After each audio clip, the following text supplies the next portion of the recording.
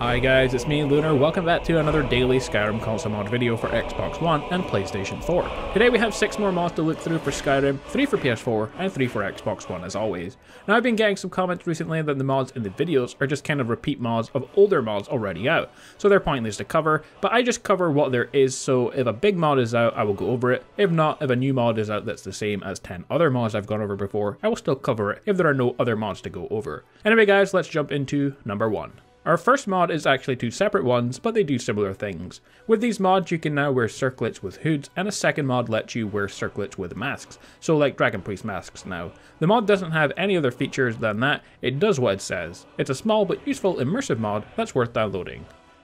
Our next mod is a beautiful ground cover from the Lawful. Yesterday we saw another mod that goes well with this one, which was the reflective blue water, so I have installed that mod right now to go with the new ground. So the mod changes the dirt and grass of the ground covers to make them look better. It changes 6 dirt textures altogether including the one around Markarth, which is where I am in the video, so we can see the difference. Personally, I do think it looks better, so I'm going to keep this one installed. Again, nothing really complicated about these mods, either you like it or you don't. If you do, then you can install it. If you don't, then you can just leave it.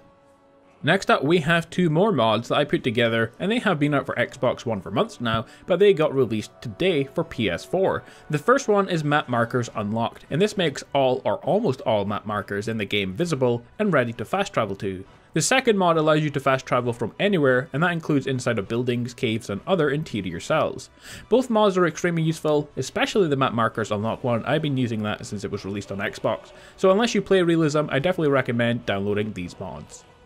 In Morrowind, the player could join the Imperial Legion and rise in ranks, acquiring prestigious titles like Knight Errant, Knight Bachelor, and Knight Protector. The player also got awarded armor pieces that set them apart from the common soldiers. This mod draws inspiration from the armor worn by high-ranking Imperial officers in Vvardenfell, and adds three sets of equipment forged in the Imperial style. Each equipment set consists of six helmets, one cuirass, one pair of boots, two pairs of bracers, a sword, and a shield. Beast races are supported, though they get only three styles of helmet.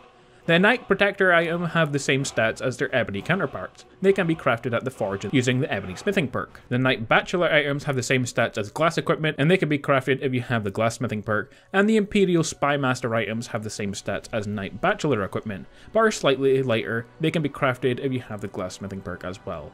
A full set of equipment has been placed in Castle Dour in Solitude. Look for a locked container in the storeroom next to where General Tullius usually is. The armor is very cool and also comes in a blue version as well if you want it, but you might get confused with a Stormcloak, so maybe red is better choice. Our next mod is the Squadron Teammate system. I actually really like the idea of this mod. Four archers will now accompany you on your journeys. They are not essential and will die eventually during battles, but they will respawn depending on what the NPC respawn time is, which I think is around 3 days. They will grow stronger as you level as well. So now you will have a full team to help you in combat. I like this mod, it's quite cool having your own little group of archers killing things for you. I would love to see similar mods of different kinds of NPCs. I guess this one feels different from having followers because these guys just kind of feel like soldiers, you know, they don't have names or anything. They're kind of your own personal guards, so it's cool. Our final mod is Mouldy's Improved Whiterun. This mod is another mod that adds in loads of small features to Whiterun. On the outside of the city, new clutter has been added in, like tables and chairs for guards, barrels, crates, and lighting. The little room on the outside that was empty before now has a bed inside of it. The inside of Whiterun is very much improved. New trees have been added, a big one right in the entrance as well, which is really awesome. New clutter like shields on buildings, banners, bunting, boxes, barrels, chairs and tables, along with loads of different lampposts. One of the best things is that there are new market stalls going around the city, and I think it makes a big difference to the way it looks. Overall, out of all the different mods that try to improve Whiterun, this is my favourite one so far. I hope that Mouldy continues to add in more stuff here as I think it could still get more in without it being cluttered, and I'm excited to see what other city improvements he has in store. So an awesome mod. Well guys, there we have it, 6 brand new console mods. I want to thank all of you for watching, and I'll be back again soon with more Skyrim videos. If you want to keep up to date with all my latest content, click on the subscription button on screen if you haven't done so yet, or click the link to my previous video to keep up to date with all my latest stuff including console mods, guides, and news every single day. Turn the notifications, the little bell thing next to the subscribe button as well to get notified of my latest videos as soon as they come out. You can also follow me on Twitter as well if you want to. But with all that being said guys, until next time, stay awesome, and I will see you all in the next video.